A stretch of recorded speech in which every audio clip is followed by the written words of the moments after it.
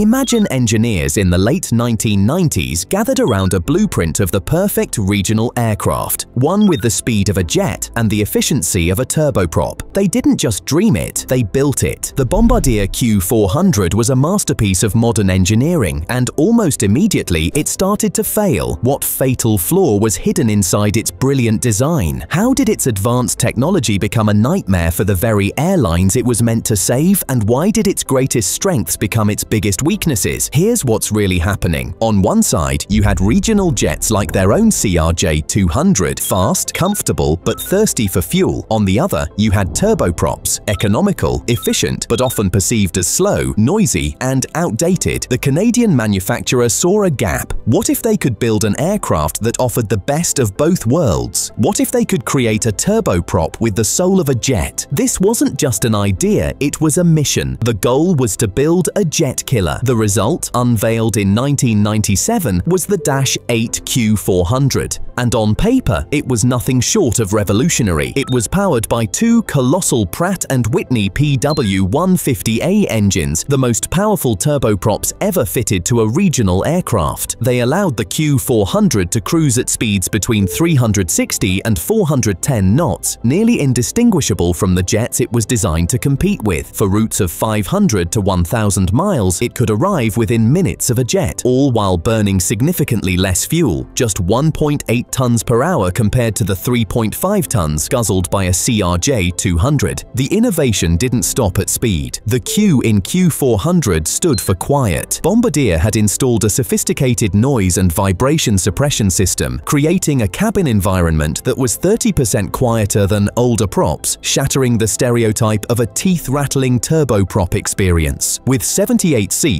it had the capacity for high-demand routes, and its remarkable short-field performance meant it could take off from runways as short as 4,600 feet, opening up smaller airports that jets couldn't serve. It was the total package. By 2010, orders had flooded in for 600 Q400s, with 400 already delivered to airlines across the globe. Bombardier hadn't just built a new plane, they had seemingly created a new category of air travel. But what if the very thing that made it a masterpiece was also its fatal flaw? Buried beneath the romance and the record-breaking specs lay a calculated gamble that cut against everything the regional aviation market truly believed in. Think the Q400's obsession with performance was a guaranteed win. Think again. For the small, scrappy regional airlines that were its target customers, the Q400 wasn't just an aircraft, it was a shock to the system. Its jet-like performance demanded jet-like operations, and that was a cost and complexity they were simply not prepared for. The dream on paper quickly became a nightmare on the tarmac. First, there was the challenge for the pilots. Flying the Q400 wasn't like flying a traditional slower turboprop. Its high cruising speed and steep descent profiles meant pilots had less time to think and react. Landings were faster and required more precision, putting immense stress on both the crew and the aircraft's components. This complexity demanded a higher caliber of training, closer to what a jet pilot would receive. The annual training costs ballooned to around $200,000 per pilot, a staggering sum for regional carriers operating on razor-thin margins. Then came the maintenance. The Q400 was a sophisticated machine. Its advanced avionics and powerful PW150A engines were marvels of engineering, but they were also maintenance-hungry. The aircraft required on average 1.5 maintenance hours for every single hour it spent in the air. Its biggest competitor, the ATR-72, needed only 1.1 hours. That 30% increase in hangar time meant less time in the sky earning revenue. The high landing speeds also led to accelerated wear on tires and brakes, adding another 25% to the cost, an extra $50,000 per aircraft per year. But the real damage came from a series of high-profile incidents that shattered the aircraft's reputation. Between 2007 and 2008, Scandinavian Airlines, or SAS, suffered three separate crashes involving the Q400's landing gear failing on touchdown. Miraculously, there were no fatalities, but the images of the broken aircraft skidding down runways were devastating. The incidents cost Bombardier an estimated $100 million in reputational damage and led SAS to ground its entire fleet permanently. The plane that was supposed to be perfect now had a question mark hanging over its safety and reliability. For airlines, loving how the Q4 Q400 flew wasn't enough when they hated what it took to keep it flying, so it was a demanding aircraft, but surely its incredible performance made up for the cost. Think again. Here's where the math fell apart and sealed the Q400's fate. While Bombardier was chasing engineering perfection, its European rival, ATR, was focused on something far more mundane and far more important, economics. The battle for the skies wasn't going to be won at 400 knots, it was going to be won on the balance sheet. And this is where the Q400, for all its brilliance, was hopelessly outmatched. The core of the problem was its operating cost. The Q400 cost roughly $3,500 per hour to fly. The ATR-72, its direct competitor, came in at just $2,900 per hour. That 15 to 20% cost difference was a chasm that no amount of speed could bridge. Airlines are businesses of tiny margins, and a $600 per hour saving is a monumental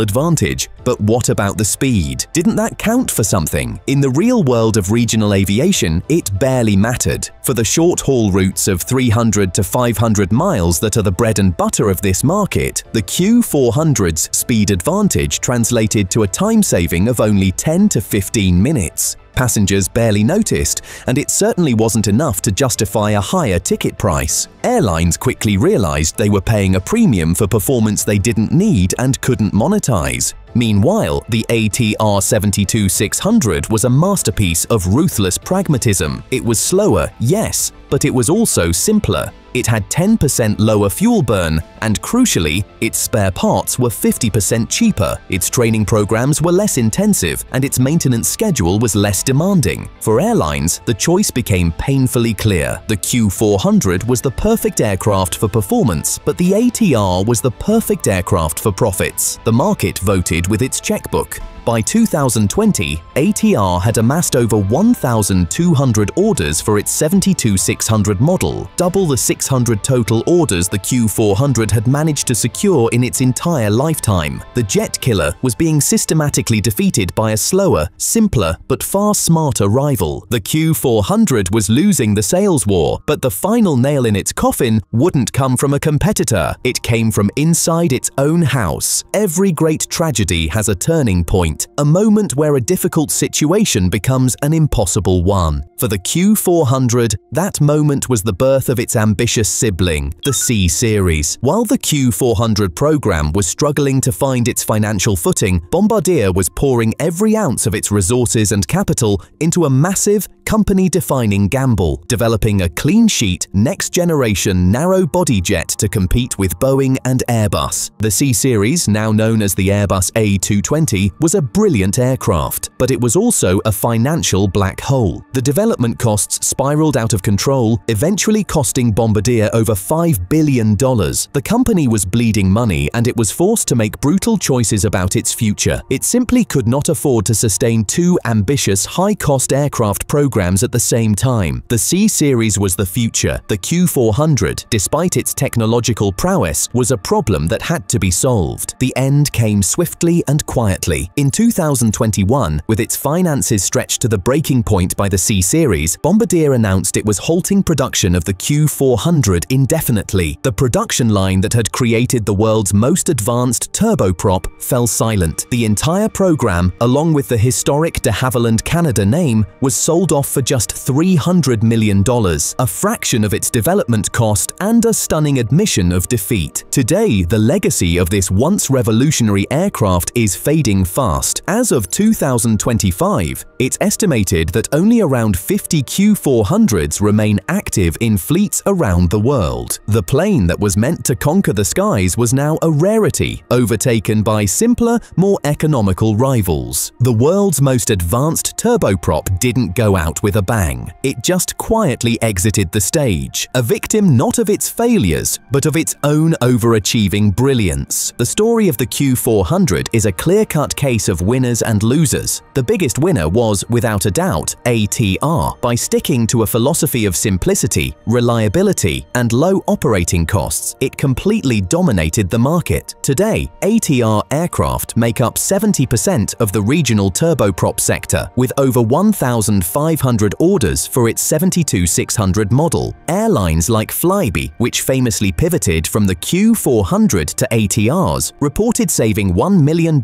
per aircraft per year. They chose profit over performance, and they were rewarded for it. The biggest loser was Bombardier, the company that had the vision and the engineering genius to create the Q400 ended up losing an estimated $2 billion on the program. It was a painful lesson that brilliance isn't enough if it doesn't align with the harsh realities of the market. And then there were the airlines and operators who bet on the Q400 stuck with high-cost niche fleets that were difficult to operate profitably. The Q400 proved that in aviation, engineering perfection doesn't guarantee market fit. In fact, it can be a liability. This story mirrors the fate of other aviation icons. The Concorde was too fast and too costly, the Airbus A380 was too big and too niche, and the Q400 was too complex and too expensive for the regional world it was meant to serve. Each was an engineering marvel undone by the cold, hard logic of economics. They pushed the boundaries of what was possible, but they couldn't survive their own brilliance. Was this a tragic failure of a single aircraft, or does it signal a deeper truth about the limits of innovation? You see, the Q400's legacy is a stark and uncomfortable question. Is perfection even possible or desirable? The industry's answer seems to be a resounding no. Will future designs forever prioritize simplicity over ambition, consigning groundbreaking ideas to the drawing board? Or will a new generation of engineers find a way to build an aircraft that is not only perfect in the air, but also perfect on the balance sheet? That remains the ultimate, unresolved